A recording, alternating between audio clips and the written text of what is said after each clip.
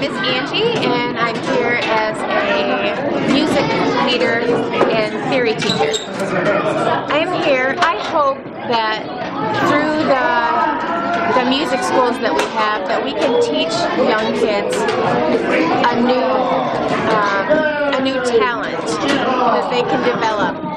And you don't know what, they can be great one day, but you don't know that if they don't ever get the beginning of that. I, I as a career, um, not because it's what I need to do, but because it's what I'm passionate about. And so um, dealing with youth and um, showing them the love of Christ and teaching them a new, a new thing is uh, what I love.